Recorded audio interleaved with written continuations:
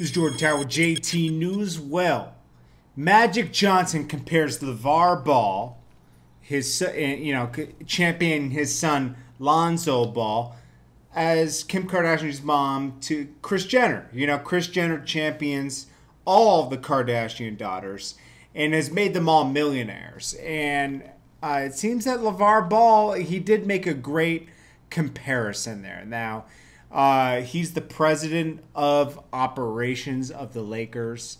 And he does, he has no problem with the father, LaVar Ball, because the father is trying to push his son forward. He champions his son, he believes in his son. He wants his son to play for the Lakers.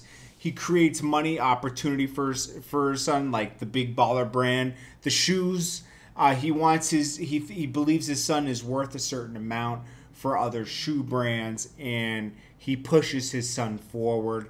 Um, is always at all the USC USCLA games, UCLA games. Sorry about that. And then uh, he's just pushing him forward, and uh, he said he doesn't bother him, and it, it looks like that Bar- LaVar Ball might be. Uh, they got number two pick the the Lakers, and it looks like that they're favoring LaVar. Uh, I'm sorry, Lonzo Ball um, to play for the Lakers. So you know this this would be interesting. But that was an interesting comparison because you know LaVar Ball is creating opportunities, uh, being the manager of Lonzo Ball, and being his son's biggest fan, and um, creating a lot of money opportunities like Kris Jenner did for all the Kardashians. I mean, it's amazing what she did for all of her daughters. So he's very accurate with this, and um, I've I had no problem with LaVar Ball and everything he's done. He's uh, he's he's making his son a hot commodity before he's even dribbled the ball in the NBA, and that's pretty amazing.